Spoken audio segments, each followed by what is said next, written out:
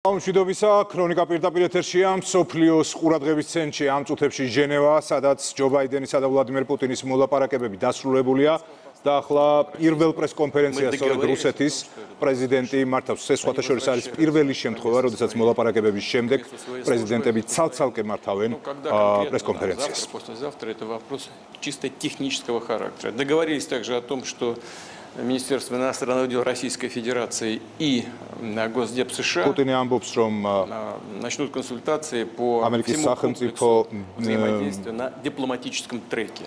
დივანი ასევე საგარეო საქმეთა სამინისტრო რუსეთის დაიწყებენ მუშაობას საერთაშორისო დონეზე გარკვეული პრობლემების მოსაგვარებლად და ორივე მხარე მზად არის რომ გადაწყვეტილებები იპოვონ. უკრაინის საკითხიც, როგორც რუსეთის პრეზიდენტი აღნიშნავს, განხილულ იქნა მოლაპარაკებებზე. Украины э, должны лежать Минские соглашения. და ამ კონფლიქტის მოგვარების საფუძველში უნდა იდეს მინსკის ხელშეკრულება. Здесь, пожалуй, э, нечего обсуждать. Вот так вот в общих чертах примерно так. Давайте продолжаем. Давайте и Тартас, пожалуйста. Передайте микрофон и Тартас. ჟურნალისტები უსვავენ კითხვას რუსეთის პრეზიდენტს. Спасибо. Владимир Владимирович, вы сказали, что одна, одна из тем была, была стратегическая стабильность. Თქვენთვით по ერთ-ერთი თემა იყო სტრატეგიული სტაბილურობა. კონკრეტულად რა გადაწყვეტილებები შეიძლება იქნას მიღებული? по стратегической стабильности შეერთებულ შტატებსა და რუსეთს შორის И в частности по договору რაც ეხება განიარაღებას планируется ли э, начинать переговоры по дальнейшему его продлению, может быть, пересмотру параметров или вообще э, подписанию нового договора в этой сфере? ხომ არის შესაძლებელი რომ ახალი ხელშეკრულებაც გაფორმდეს? и на Российской Федерации лежит особая ответственность за ამერიკას და რუსეთს განსაკუთრებული პასუხისმგებლობა აკისრიათ სოფლიო სტაბილურობის საქმეში. ვინაიდან ორივე სახელმწიფო არის ბირთვული სახელმწიფო სახელმწიფო и по уровню, по качеству э, современности ядерных вооружений. Э, мы эту ответственность осознаем. ჩვენ ამ პასუხისმგებლობას უგრძნობთ. что для всех очевидным является то, что принял ответственное и, на наш взгляд, абсолютно своевременное решение о продлении договора СНВР-3. და ბაიდენმა მიიღო გადაწყვეტილება, რომ აღნიშნული ხელშეკრულება გაგრძელებულიყო. конечно, стоит вопрос о том, что дальше. და დგას საკითხი რომ რა იქნება მომავალში на межведомственном уровне უწყებათა შორის დონეზე დაიწყება კონსულტაციები, სადაც ჩართულები იქნებიან ამერიკული და რუსული მხარეები ოფიციალურ დონეზე. составом этих делегаций. სადაც ასევე განხილული იქნება დელეგაციების შემადგენლობა. და ამ შეხვედრების პერიოდულობა. тоже иностранным журналистам дадим. Давайте Мэтью Чанс, CNN. CNN. Hi, um, Matthew Chance from CNN. Thank you very much for giving me this question. Uh, first of all, could you characterize the dynamic between yourself and President Biden? Was it hostile or was it friendly? And secondly, throughout these conversations, did you commit to ceasing carrying out cyber attacks on the United States? Did you commit to stopping threatening Ukraine's security? And did you commit to stop cracking down on the ამერიკელი ჟურნალისტის შავს კითხვას კიბერთავდასხმაზე და უკრაინაში შექმნილ ვითარებასთან დაკავშირებით. Общая оценка. Я считаю, что საერთო შეფასება არანაირი მტრობა არ ყოფილა. ჩვენი შეხვედრა ის გულისხმობს ბაიდანს. იყო პრინციპული. наши оценки расходятся, но... მართალია ჩვენი შეფასებები ერთმანეთს არ ემთხვევა, მაგრამ с обеих сторон было продемонстрировано желание ორივე მხრიდან იყო დემონსტრირებული იყო დემონსტრირებული ურთიერთგაგების აუცილებლობა. რაც შეეხება კიბერუსაფრთხოებას, ჩვენ მოვილაპარაკეთ. на этот счет консультации. რომ ჩვენ დავიწყებთ კონსულტაციებს ამ საკითხზე. და ეს აუცილებელია. того, кто на себя должен брать какие обязательства. Хочу вас проинформировать о вещах, которые, в общем-то, известны, но не широкой публике. из американских источников. ამერიკული წყაროებიდან напутать, э, перепутать название организации, вот Песков вам потом передаст. Из американских источников следует, что наибольшее количество кибератак რომ კიბერთავდასხმების ა, осуществляется უდიდესი ნაწილი მსოფლიოში пространство США. ამერიკის შეერთებული შტატების მხრიდან ხორციელდება. მეორე ადგილზე არის კანადა. Внимательно американские стороны. ა, შემდეგ კი ლათინური ამერიკის ქვეყნები მოდის და შემდეგ უკვე დიდი ბრიტანეთია. რუსეთი კი ამ სიაში территории, с которых и- или с киберпространства которых осуществляется наибольшее количество кибератак разного рода, не значится как რუსეთი ამ სიაში არ არის როგორც ამბობს ა, რუსეთის პრეზიდენტი. на протяжении ეს შეგახსენებთ რომ 2020 იყო года საუბარი კიბერთავდასხმებზე. мы получили из США запросов, 10 запросов по поводу кибератак на объекты Соединенных Штатов Америки. Как э, говорят наши коллеги, როგორც ჩვენი კოლეგები России. И два ამბობენ таких запроса ის ამერიკელებს გულისხმობს ამერიკიდან ა, რუსეთმა მიიღო რამდენიმე ა, ასე ვთქვათ განაცხადი ა, რომ რუსეთი ა, ესხმოდა ამერიკულ м, ა, სტრუქტურებს направила в კიბერთავდასხმებს прошлом году ახორციელებდა соответствующая структура США 45 таких запросов. და а в 45 первом ასეთი полугодии განაცხადი этого იყო მოსული 35. და ასევე 35 uh, ბოლო პერიოდში. ჯერჯერობით ჩვენი მხრიდან uh, ჩვენს კითხვებზე პასუხი uh, არ მიგვიღია და ჩვენ ამაზე უნდა ვიმუშაოთ. რასთან დაკავშირებით და ვინ უნდა აიღოს პასუხისმგებლობა ეს მოლაპარაკებების გზით უნდა გაიგოს. ჩვენ თვლით რომ სფერა кибербезопасности является კიბერუსაფრთხოების чрезвычайно სფერო важной в мире ძალიან вообще, მნიშვნელოვანია для მსოფლიოში. Соединенных Штатов, в частности, ამერიკის შეერთებული и для შტატებისთვის России და тоже ასევე такой же რუსეთისთვის. активный. Вот, например, да, мы მაგალითად, знаем о э, ჩვენ кибератаках ვიცით на, э, კიბერთავდასხმების შესახებ ა, знаем ამერიკის также, что компания вынуждена Да. была заплатить 5 миллионов მილგაყვანილობის კომპანიაზე, значит, э, м, шантажистам. რომ ა, უნდა გადაეხადა გარკვეული ფული იმ ადამიანებისთვის, ვინც მათ აშა- აშანტაჟებდა. А часть нет. საუბარია ელექტრონულ ა, საფულეზე, Ну, причем საფულებზე. здесь государственные ор- органы России. А, Значит, э, мы сталкиваемся с такими же угрозами. В частности, например, ჩვენც ასეთივე მაგალითებს систему ვაწყდებით. здравоохранения одного из крупных регионов Российской Федерации. მაგალითად ა, რუსეთის ჯანდაცვის სისტემასთან დაკავშირებით, რომელიც ა, რუსეთის ტერიტორიაზე მდებარეობს киберпространства США. და ჩვენც იგივე პრობლემებს ვაწყდებით. официальные власти заинтересованы в манипуляциях подобного. ჩვენ არ ვფიქრობთ, რომ შეერთებული შტატები манипуляციებში არის დაინტერესებული. ინსინუაცია უბრალოდ ინსინუაციები უნდა დასრულოს ექსპერტულ დონეზე. და საჭირო არის ექსპერტულ დონეზე დავსხდეთ და დავილაპარაკოთ და ვიმუშაოთ ამ მიმართულებით. И Россия к этому готова. Русет Ямыч тут взят, Давайте Арти. Где у нас Арти? Я знаю. Арти. Дайте микрофон Арти, пожалуйста. Э, дайте микрофон. Что э, какая-то часть вопроса была, осталась а, а, неотвечена. That, that's correct, and thank you very much for coming back to me, sir.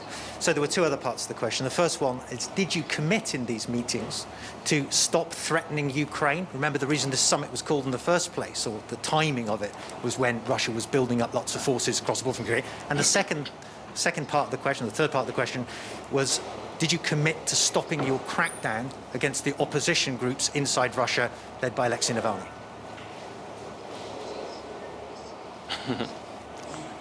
Значит, э, ну, я не слышал эту часть вопроса, или ее не перевели, или вы просто... უკრაინასთან დაკავშირებით და ალექსი ნავალნისთან დაკავშირებით ა, დასვა ამერიკელმა ჟურნალისტმა კითხვა. для Украины.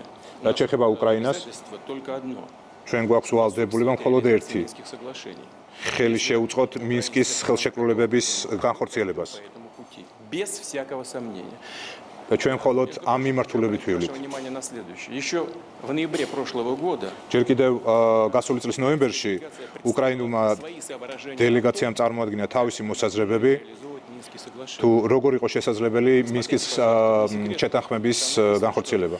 Прежде всего, нужно Их წერია. а, пред- представить предложение по поводу политической интеграции Донбасса რომ თავარია დონბასის а, и სამართლებრივი ინტეგრირება изменения в самой Конституции. Так прописано.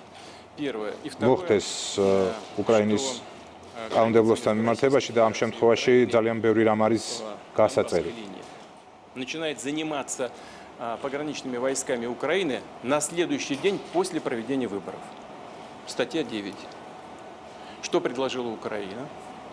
რა Она შემოგთავაზა предложила უკრაინა? вер- Первым шагом вернуть вооруженные силы უკრაინამ Украины შემოგთავაზა რომ своей постоянной дислокации. დაბრუნებული იყვნენ შეიარაღებული ძალები დისლოკაციის ადგილებზე, რაც იმას ნიშნავს, რომ ა, უკრაინული ჯარი უნდა შესულიყო და უკრაინული არმია უნდა შესულიყო დონბასში. მეორე რაც შემოგთავაზეს, Между Россией и Украиной. ა, დაკე- დახურულიყო რუსეთ-უკრაინის საზღვარი И третье. და მესამე Выборы провести через три месяца. არჩევნები ჩატარებულიყო 3 თვის შემდეგ. ამ ნაბიჯების შემდეგ. Не надо быть никаким э, юристом, არ არის საჭირო რომ იყოთ იურისტი, не надо иметь специального образования, чтобы понять, что это ничего общего не имеет с Минским რომ соглашением. ამ ყველაფერს არაფერი არანაირი კავშირი არ აქვს მინსკის ა, შეთანხმებასთან დაკავშირებით. себя Россия. Я რა думаю, что პასუხისგებლობა შეიძლება აიღოს რუსეთმა? პასუხი ვფიქრობ გასაგებია. учение რაც შეეხება на სწავლებას, своей территории. ჩვენ ვატარებთ სწავლებებს Соединенные Штаты проводят ჩვენს ტერიტორიაზე, ისევე როგორც ამერიკის შეერთებული შტატები Мы не ატარებენ проводим учений, საკუთარ ტერიტორიაზე, подтаскивая свою технику и личный состав მაგრამ ჩვენ არ к ვატარებთ государственным границам Соединенных Штатов. სამხედრო К ა, сожалению, наши სწავლებებს американские партнеры делают это ამერიკის прямо შეერთებული შტატების საზღვრებთან, რასაც მაგალითად ამერიკის შეერთებული შტატები ზუსტად ახლა Должен აკეთებს. быть не о американской стороны по этому поводу, а у российской. Но это тоже предмет разговоров и, э, и ესეც საუბრის позиций. ა, ნაწილი და საგანი. Наши несистемные оппозиции რაც и შეეხება ჩვენს ოპოზიციას гражданина, о котором вы упомянули. და მოქალაქეს, რომელიც თქვენ ახსენეთ, ის ნავალნის გულისხმობს. Человек этот знал, что он нарушает ამ ადამიანმა იცოდა, რომ ის არღვევდა России закон. რუსეთის კანონმდებლობას. Обязан был отмечаться как лицо, То есть- дважды осужденное ვალდებული იყო наказание. Сознательно. აღენიშნა თავისი თავი, რომ ორჯერ არღვევდა რუსეთის კანონმდებლობას Господин და რუსეთის კანონმდებლობის не იგნორირებით требовали органы власти на регистрацию. Как только он вышел из больницы и развестил э, свои, э, როგორც კი ის свои გამოვიდა საავადმყოფოდან видеосюжеты და в, განათავსა თავისი ვიდეო სიუჟეტები в интернете, ინტერნეტში, такое требование возникло. ასეთი მოთხოვნა Проигнорировал требования закона. э, ცხადი гахта, იმიტომ რომ მან э, იგნორირება გაუკეთა რუსეთის კანონმდებლობას. Приехал. Я исхожу из того, что хотел сознательно шел на то, чтобы быть задержанным. ის შეგნებულად მიდიოდა იმაზე, რომ დაეკავებინათ.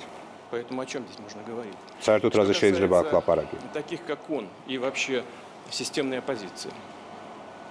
К сожалению, формат пресс-конференции не дает нам поговорить об этом подробно. Но я хотел бы сказать следующее.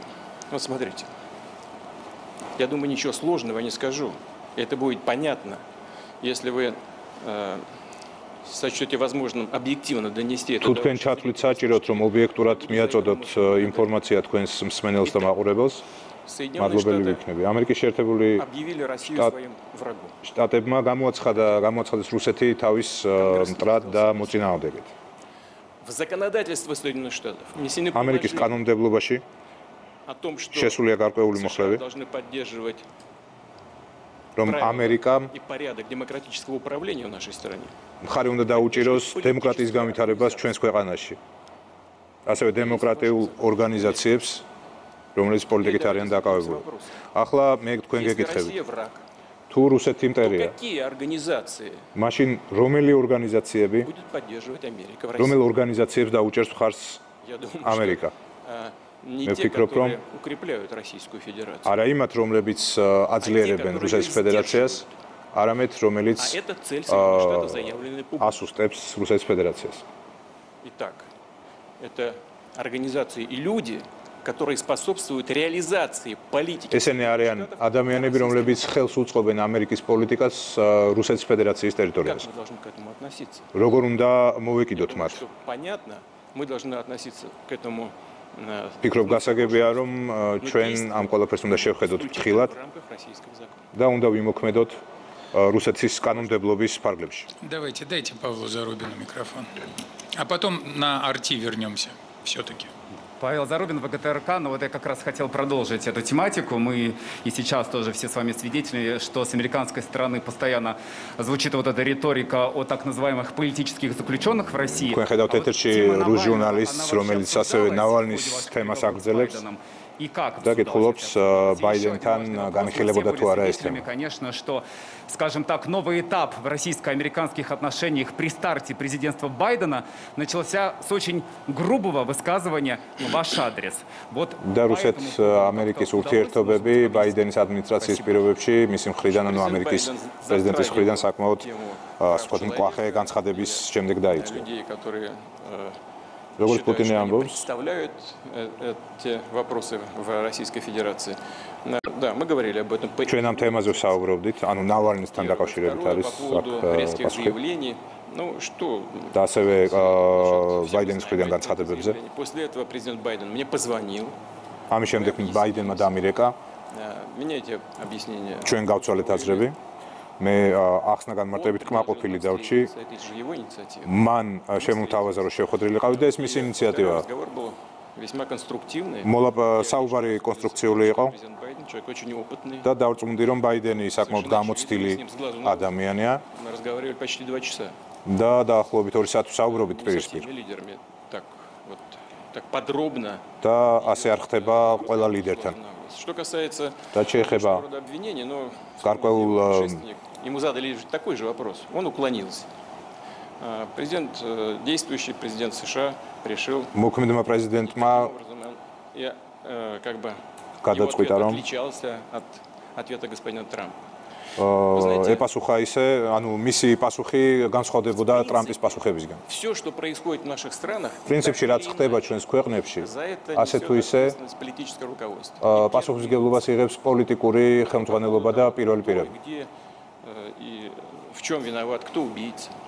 Вы посмотрите, ведь на Вин улице არის დამნაშავე და, каждый э, день кого-то убивают, в том числе и ვინ არის მკვლელი ეს აა, გახსოვთ თქვენ ასევე ბაიდენის ცნობილი განცხადება там პუბლიკთან слова не მარტივში. успеешь сказать, уже стреляют, или в грудь, либо в спину. Вне зависимости от того, рядом с тобой дети или э, პუტინი ახლა მიმოიხილავს ამერიკის შეერთებული бросила შტატების машину женщина, побежала, აა, ей в спину. ქუჩების კრიმინალური Стреляют, ვითარებას. Застрелили. Значит, ну ладно, это криминальные вещи. Афганистан возьмем. ავიღოთ ავღანეთი. Одним ударом по 120 человек убивали. Свадьбу уничтожили. ერთი დარტყმით э, ასობით ადამიანს კლავდნენ. მაგალითად ეს შეცდომა იყო, ასეთიც ხდება. Расстрел из беспилотников или უპილოტოებიდან დაცხრილვა ან ვერტმფრენებიდან სამოქალაქო მოქალაქეებისა. ეს რა არის? ну кто несет за это ответственность? ვინ იღებს ამაზე პასუხისმგებლობას? ვინ არის მკვლელი? или по правам человека? მაგალითად ან აა, ადამიანის უფლებები. Ну, Гуантанамо до сих пор გუანტანამოს ციხე вообще კიდევ не ფუნქციონირებს, соответствует ничему. რომელიც Ни международному праву, ни американским законам, ни არც ამერიკის კანონმდებლობას და არც საერთაშორისო სამართალს შეესაბამება, მაგრამ მაინც არსებობს დღემდე. ციხეები, ЦРУ, которые были На- открыты в разных странах, в том числе и европейских. სადაზვერო ამერიკის სადაზვერო სამსახურის, რომელიც Это что такое? Это права человека? სადაც ამ დრომდე აა, ადამიანებს აწამებენ. ეს Думаю, что нет. განა ადამიან ადამიან Вряд ли ადამიანის кто-то უფლებების из დაცვაა. согласится, что так защищают права человека. Это же практика реальной политики. И мы, исходя из этой практики, понимая, что это делалось и может делаться, выстраиваем свое. ჩვენ ვუსმენდით э, რუსეთის პრეზიდენტის პრესკონფერენციას ვლადიმერ პუტინი გამოჩნდა პირველი მედიასთან ამ ისტორიული და როგორც შეხვედრის მან შემდეგ. აღნიშნა მთელი აი ამ პრესკონფერენციის აა რაც მიმდინარეობს, ხო, აი ამ დროის განმავლობაში ყველაზე მეტად ის დამამახსოვრდა, რომ როგორც მან აღნიშნა, რომ რუსეთი არ არის იმ ქვეყნების სიაში, სადაც საიდანაც კიბერთავდასხმები ხორციელდება. როგორც ჩანს, მას არ დავიწყები ასევე ფრაზა, ვინ არის მკვლელი? ვინ არის მკვლელი და მან გასცა პასუხი, აი ზუსტად ამ თემაზე საუბრობდა ახლა რუსეთის პრეზიდენტი. მოკლედ ძალიან საინტერესოა, ვერ ვიტყვით რომ მოკლე იყო ან ძალიან კონსტრუქციული მისი არა, კონსტრუქციული კონსტრუქციული ფაქტია, რომ ну, ალბათ დიპლომატიურ ენაზე შეგვიძლია რომ გადა- გადავთარგმნოთ, რომ ეს იყო კონსტრუქციული გამოსვლა, თუმცა ისრების გადატანა ცივილიზებულ სამყაროზე პირადად ჩემთვის, როგორც ადამიანისთვის ამ შემთხვევაში მართალი რომ გითხრათ მიუღებელია, იმიტომ რომ იგივე კიბერთავდასხმებთან დაკავშირებით, იგივე მკვლელობებთან დაკავშირებით მე ძალიან კარგად მახსოვს ჯერ კიდევ, როდესაც მას მას კითხეს კურსკთან დაკავშირებით. რა დაემართა კურსკს? ეს მისი პასუხი იყო ის უბრალოდ ჩაიძირა. მოკლედ ჩვენ ახლა უკვე ველით ჯო ბაიდენის გამოსვლას. არანაკლებ მნიშვნელოვანი არის რა სიტყვის თეთრი სახლის ლიდერი. მით უმეტეს რომ ის გახდათ ინიციატორი ამ შეხვედრის და სხვა შორის პუტინმა ეს ბევრჯერ ხაზგასმით აღნიშნა პრესკონფერენციაზე, რომ ეს შეხვედრა სურდა ჯო ბაიდენს.